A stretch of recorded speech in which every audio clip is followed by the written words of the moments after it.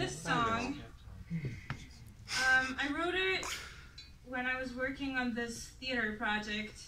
Um, and this always happens to me because theater, especially if you work in the backstage, as I often do, um, you get together with these people that you barely know, and then you work for them, with them, every day, all day, and you get really attached to them, and then when it's over, it's over. And a lot of times you get hurt.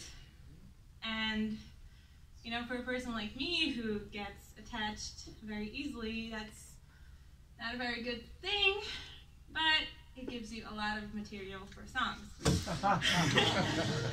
so, here we are. this is a tiny little song, called Misguided.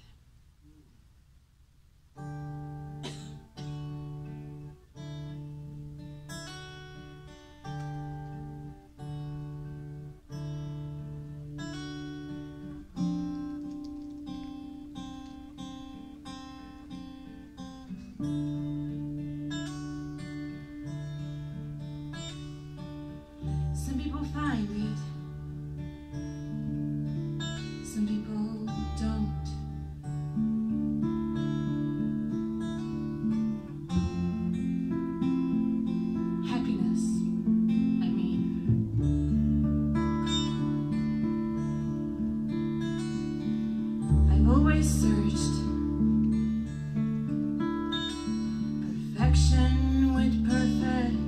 called Misguided. took you